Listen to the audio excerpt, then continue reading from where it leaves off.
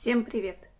Меня зовут Вера, и вы находитесь на канале, посвященном кетопитанию. Давайте сегодня поговорим о скрытом сахаре в магазинных продуктах. Если вы уже знакомы с концепцией кетопитания, то вы знаете, что один из главных шагов по достижению кетоза – это полное исключение сахара и крахмала из своего рациона. Поэтому нам очень важно отслеживать добавленный сахар в, в своих тарелках.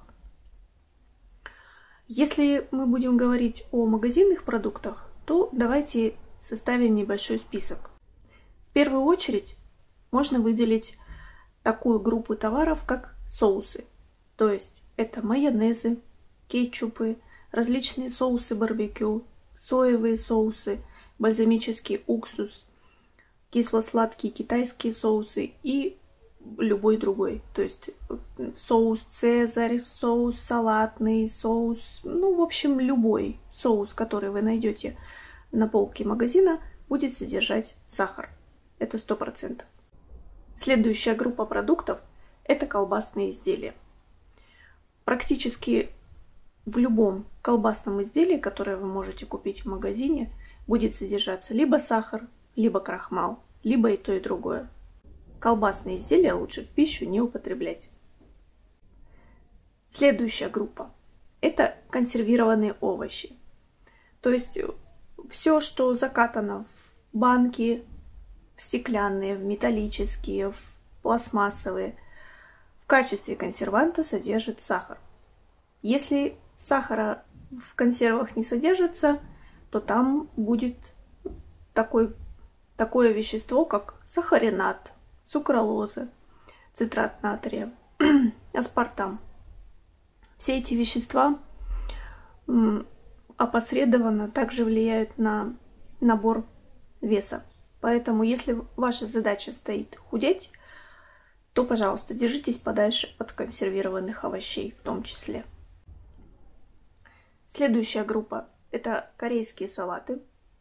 Ни один корейский салат не обходится без глутамата натрия – и без сахара. И сахар и глутамат натрия вызывают резкий подъем уровня инсулина и для кетопитания не очень подходят. И еще одна группа – это рыбные пресервы, то есть рыба, которая готова к употреблению и залитая каким-либо соусом. Э, скажем, уксусно-масляная заливка, майонезная заливка, какие-то там разные розовые соусы и так далее – как правило, они все содержат сахар. То есть тоже нужно быть очень внимательными и тщательно читать этикетки. Почему важно избегать добавленного сахара? Потому что продукт с добавленным сахаром провоцирует непрерывное чувство голода и блокирует чувство насыщения. То есть мы начинаем есть, есть, есть, есть и не можем остановиться. Соответственно, мы переедаем, соответственно, ни о каком похудении речи быть не может. Так что имейте это в виду. Причем сахар в составе продукта может быть указан не прямо, а может скрываться за такими словами, как глюкоза, глюкозно-фруктозный сироп, декстроза, мальтодекстрин, концентрированный сок фруктов, лактоза, крахмал, собственно – Крахмал – это будущая глюкоза, а будущая глюкоза – это выброс инсулина, а выброс инсулина – это жирозапасание. Для приверженца кетопитания найти какой-либо готовый к употреблению продукт в магазине, соответствующий принципам кето, очень сложно. Какой выход? Выход простой. Есть максимально натуральные продукт. То есть мясо, рыба, яйца, овощи, зелень. В этих продуктах точно нет добавленного сахара.